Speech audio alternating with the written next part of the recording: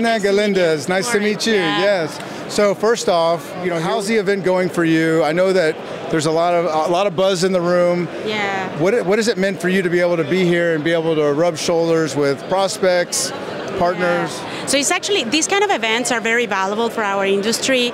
It's an opportunity to network not only within uh, operators but also within companies, service companies, and you learn a lot. You know, it's, it's also good for us in sales to do intelligence about what is going on in the industry. We learn a lot, and also specifically on the operator side, like they come here and it's an opportunity to us uh, for us to show them the new technologies that we get to bring them to support their operations. Especially for us, we work in the completion area.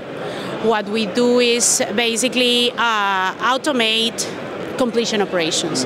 It doesn't matter who is what pressure control equipment they are using. It doesn't matter who's fracking. It doesn't matter who has the wireline.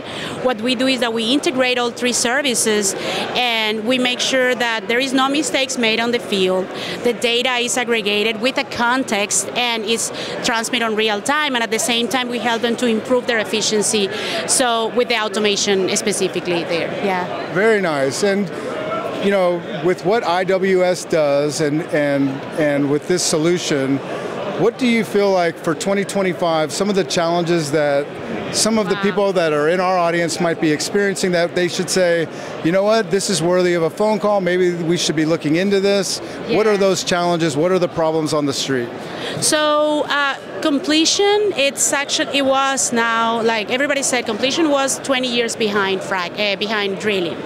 So these last couple of years, you have seen from the typical completion operation to a lot of technology companies getting into the completion environment, and that I think is the challenge, right? Like the constant technology improvement that not only us as a company, but everybody else is doing. Uh, the industry and is kind of young in that technology portion of it, so there is a lot of new ideas.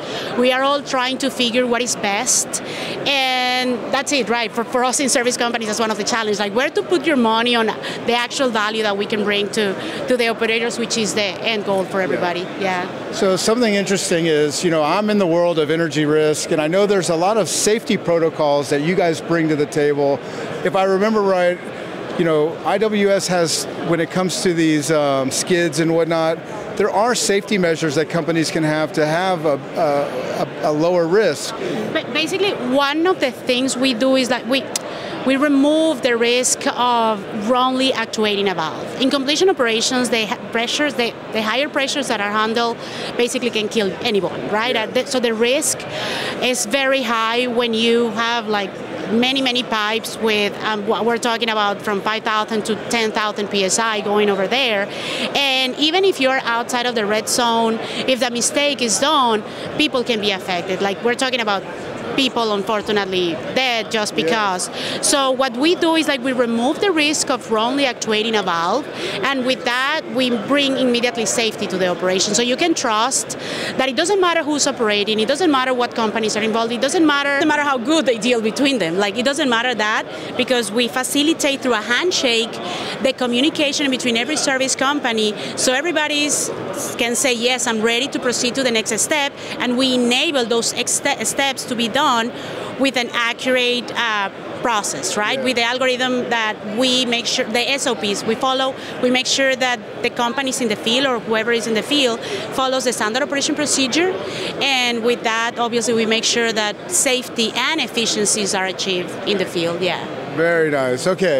And then before we go, just to close it out, if, if, sure. if somebody was interested in going through this process, what does that look like for someone who's going, you know what, I haven't talked to IWS yet, but I'm just curious, what is the what is the cadence? How long does it take to go through the process? So, um, funny enough, like that depends a lot on the willingness of supporting new technologies. Like what we have experienced is that obviously automation is like when you go from the typical old phone to the smartphone, right? Like at the beginning, is the change is a little bit difficult for some people, but once you get this, that smartphone and once you get to use it, you fly, right? So it's the same way with this. Like once you start using the automation technology, once you understand that we don't want to move you out of the field, but instead we want to protect you whenever you are in the field you start like you know working fast, working better, trusting in the system, trusting in the operation, and in that way, you that's how you achieve success in the field. And yeah.